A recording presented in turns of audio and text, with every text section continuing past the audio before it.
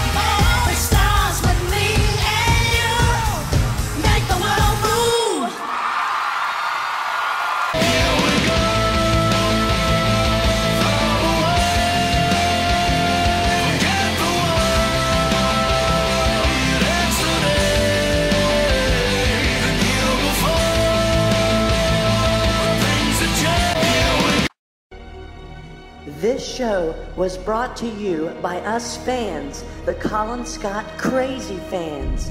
Please join the millions of us who yearn to hear more of Colin Scott's legendary voice and spread the word about Colin Scott's incredible music on Facebook, Twitter, and across the web. Thank you for watching